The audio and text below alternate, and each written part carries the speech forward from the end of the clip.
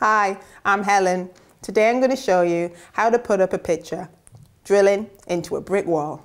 Power tools from everyone.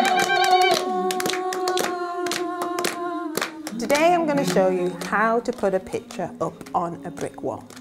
If you're not familiar with drilling, I recommend that you see the first video on drilling where you get to know the basics. To complete this job, you're going to need your drill, your drill bits and bobs, wall plugs, screws, a hammer, and your screwdriver. So today, we're going to hang a picture on the wall. But before you hang a picture on the wall, or anything on your wall, you should find out what type of wall it is. What's your wall made of? A good way of doing this is to just knock on the wall.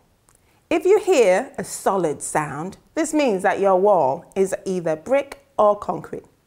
Knock again and you hear a hollow sound, it means it's plasterboard. Whatever your wall is made of, we don't recommend that you should do any drilling above, below, around, anywhere near a plug socket. This video is for drilling into a brick wall.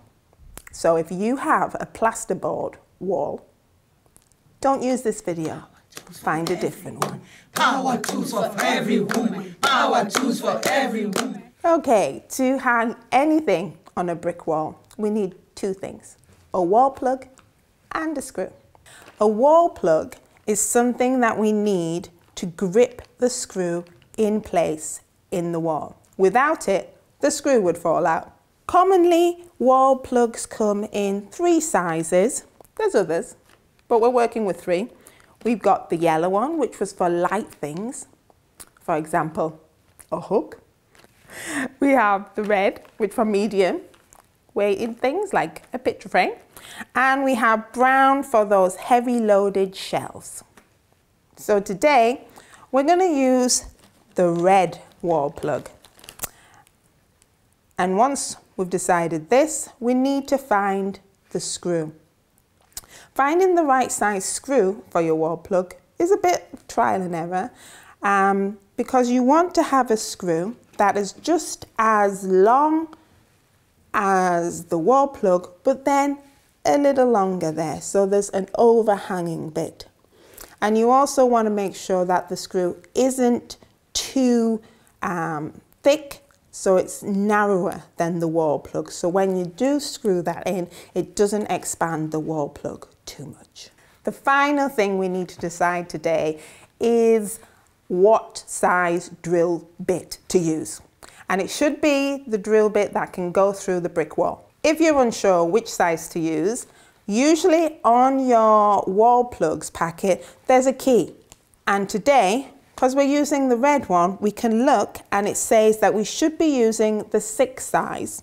So if we go to our box of tools here, we can pick out the size six and this is what we'll be using today. We've made our final decision.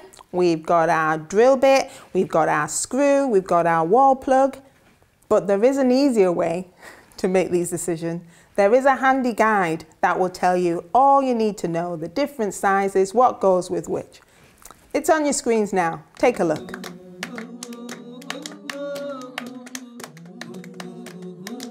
Okay, so now it's ready to get our drill ready. We've chosen our drill piece for the brick wall um, and I've opened the chuck by turning it clockwise and I'm going to put the drill piece in um, as far as it can go. And then I'm going to turn the chuck anti-clockwise as far as it will go. All the time I'm doing this, my directional lever is on safety in the middle. We need to find out how deep that we need to drill. And how we do this, the little trick that I've got, is we take our wall plug and we size it up against our drill bit. And then we get out the masking tape and we mark where that wall plug sits on the drill piece. And that means once we start drilling, we just go up to the masking tape and that should be enough drilled in the wall. There's a lot of guesstimation in this, but what we can do is turn it round put our pretendy screw in there and we can see there's a few inches at the top. So keep your finger in there and let's just put it against the wall so we can roughly get a place where we're going to put it.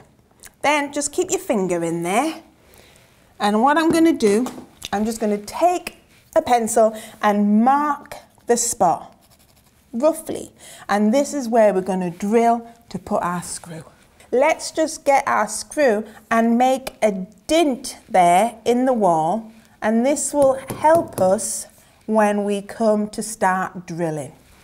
I'm going to just turn this clutch ring down to the drill mode. And why? Is because we're trying to get through some tough old wall there. And it's going to be hard, it's going to be difficult. So we're going to take it slow and steady to start off with. I'm going to shift my directional lever to the right so we can start going in. I'm off the safety. We're ready, slow and steady.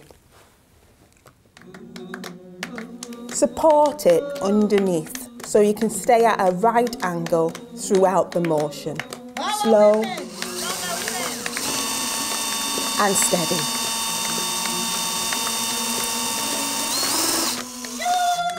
All right, I'm going to stop it there um, because we've got part way in I'm going to change from the drill mode now to the hammer mode. We've got some purchase in there, we've got some room. So I'm going to change it to the hammer mode and then it won't be jumping around.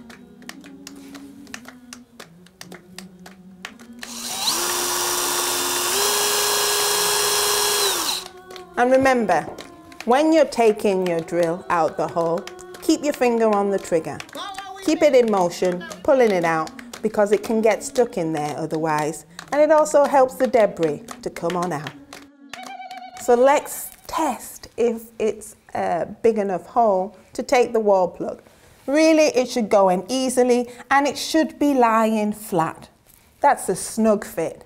We did a good job getting in this wall plug, but sometimes a little might hang out. It's all right to give it a little tap to get it in so it's a nice snug fit. Next, Let's put that screw in the wall plug. And we're just going to screw it in there and it's going quite easy. All right, just a couple more turns there. You see, I've left a bit of the screw overhanging because that's where we're going to put our picture frame. And there we go. Job done.